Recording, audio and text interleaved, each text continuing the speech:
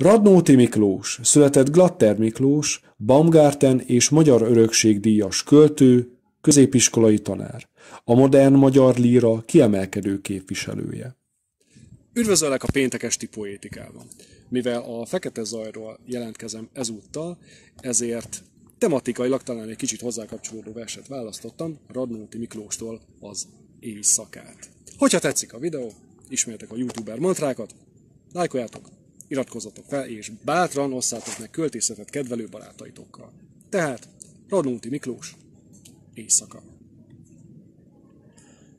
Alszik a szív, és alszik a szívben az aggodalom. Alszik a pókháló közelében, légy a falon. Csönd van a házban, az éber egérse kapargál, alszik a kert, a faág, a fatörsben a harkály.